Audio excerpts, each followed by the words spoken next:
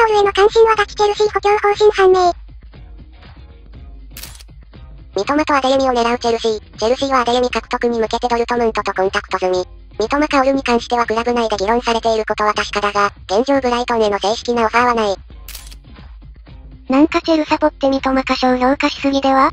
年齢とかそこら辺の問題でいらないっていうのわかるけど。三笘いらないって言ってる人いるけど現世界最強 LWG いらないとかどんなクラブだよデススペースで仕掛けられるからムドリクとある程度プレスバックもしてくれるからスターリングとも差別化できる不安点としては怪我と年齢かな。年齢もあるし、値段次第かなと思ったけどチェルシーだし、大概は払えるかな本気になれば。アデユミってカウンター全振りみたいな人でしょ？マレスカにいるの？アデユミに関してはドルトムンとサポもなんとかチェルシー騙して売れないかなって思ってるだろ。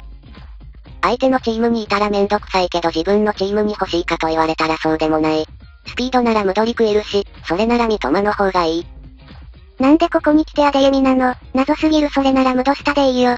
マートセントのトレードならまだ良かったけどさ。